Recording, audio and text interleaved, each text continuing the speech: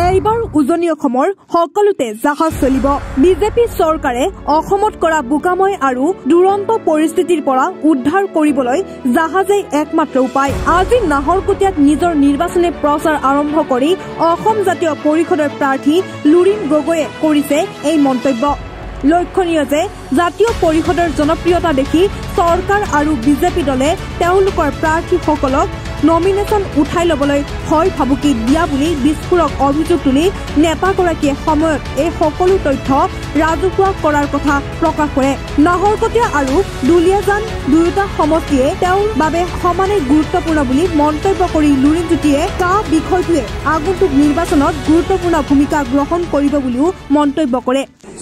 মূল ইছ্যু হ'ব নিবনুৱাসকলৰ সংস্থাপন। কাৰণ মই ইতিমধ্যে কৈছোঁ আঠত্ৰিছ হাজাৰ নিবনুৱা ইয়াত পঞ্জীয়ন কৰিছে।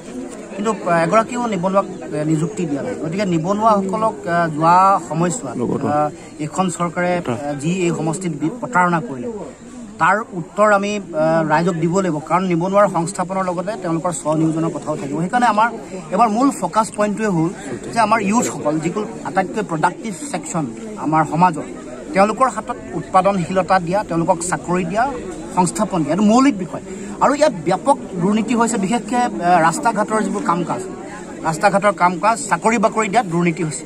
এইবোৰ নাইকিয়া কৰি এখন ভাল সমাজ গঢ়াৰ কথা কাৰণে চিন্তা চৰ্চা আমি সকলোৱে কৰিছোঁ।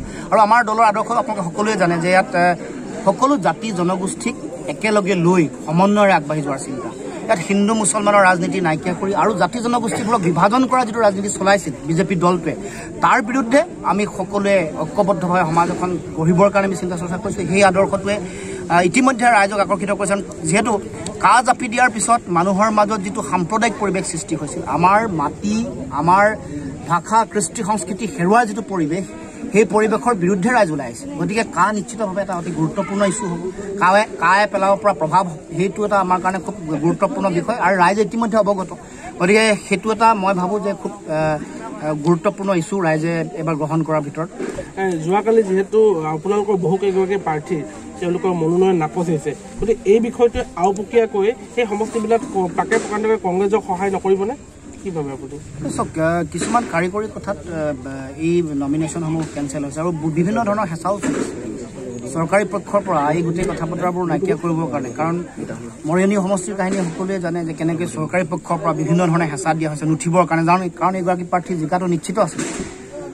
বিভিন্ন ধৰণে ভয় ভাবুকি দিয়া হৈছে। এইবোৰ কথা এসময়ত আমি মুকলি কৰিব লাগিব তেওঁৰ মুখেৰে আপোনালোকৰ প্ৰাৰ্থীবিলাকৰ ওপৰত চৰকাৰী হেঁচা আহিছে নেকি? নিশ্চয়। নিশ্চয় আহিছে। যাৰ কাৰণে নমিনেশ্যন ফাইল হৈছে। মৰিয়নীৰ এই ঘটনাটো ন এই ঘটনাত তেওঁৰ বিভিন্ন ধৰণৰ তেওঁৰ ভয় ভাবুকি তেওঁৰ বিভিন্ন ধৰণেৰে প্ৰাৰ্থিত্ব নাকচ কৰিবৰ কাৰণে বা প্ৰাৰ্থিত্ব সম্পৰ্কে কথা বতৰাবোৰত বাধা দিবৰ কাৰণে চৰকাৰী ফালৰ পৰা বিভিন্ন ধৰণৰ প্ৰয়াস চলিছে। আগৰ চৰকাৰৰ ফালৰ পৰা বিভিন্ন দলৰ ফালৰ পৰা। তাৰ উত্তৰ এবাৰ ৰাইজে দিব। উজনিত কোনটো সমষ্টিত জাহাজ চলিব এইবাৰ আপোনালোকৰ। উজনিত ৰাইজে এবাৰ সম্পূৰ্ণৰূপে জাহাজ চলাবৰ কাৰণে ইয়াত যিটো তেওঁলোকে বোকাময় কৰিলে সমাজখন আৰু ডুবাই দিলে। অসমৰ ডুবন্ত অসমক উদ্ধাৰ কৰিবৰ কাৰণে জাহাজ আহি আছে জাতীয়তাবাদী শক্তি সকলোতে। মই ভাবোঁ যে প্ৰায়বোৰ সমষ্টিতে আমাৰ বিজয় ধ্বজা উৰিব লুইন্দা যিহেতু আপুনি দুটাকৈ সমষ্টিত প্ৰতিনিধিত্ব কৰিছে যদিহে আপুনি দুইটা দুইটা সমষ্টি আপুনি বিজয় হয় তেনেহ'লে কোনটো সমষ্টি আপুনি এৰি দিব? চব প্ৰথমে জয়লাভ কৰিবলৈ দিয়ক ৰাইজক প্ৰথমে ভোট দি জয়যুক্ত কৰিবলৈ দিয়ক। অগ্ৰাধিকাৰ সমষ্টি কোনটো হ'ব আপোনাৰ? কোনটো অগ্ৰাধিকাৰ? দুইটা দলে সমানে অগ্ৰাধিকাৰ দিছোঁ। কাৰণ সমগ্ৰ অসমখন মোৰ। ইয়াত অসমত কোনো তেনেকুৱা ধৰণৰ কথা নাই প্ৰতিটো সমষ্টিৰ প্ৰতি আমাৰ সমান দায়বদ্ধতা আছে। গতিকে অগ্ৰাধিকাৰ সমানে দিছোঁ আৰু সমগ্ৰ অসমৰ ৰাইজৰ যিটো ভালপোৱা পাইছোঁ সেই ভালপোৱাই মই বিশ্বাস কৰোঁ যে দুয়োটা সমষ্টিক মোক বিপুল ভোটত জয়লাভ কৰি পঠিয়াব ৰাইজে। Bureau' report news next. বৃত্তিমূলক শিক্ষা খণ্ডত নতুন সংযোজন ডেফোডিল কলেজ অৱ হৰ্টিকালচাৰ।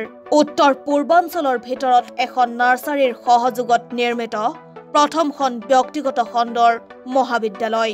অত্যাধুনিক আন্তঃগাঁথনিৰে উচ্চ শিক্ষিত শিক্ষকৰ দ্বাৰা গুণগত মানদণ্ডৰ শিক্ষাদান। ছাত্ৰ ছাত্ৰীৰ বাবে উন্নত মানদণ্ডৰ শ্ৰেণীকোঠাৰ লগতে সুশৃংখলাবদ্ধ আৱাসিক কোঠাৰ সুব্যৱস্থা থকা এখন জাকত জিলিকা মহাবিদ্যালয় ডেফোডিল কলেজ অৱ হৰ্টিকালচাৰ। যোগাযোগৰ ঠিকনা Khetri college gate. Mobile number nine eight five four zero' five one two zero' two অথবা nine eight five four three two three four double zero'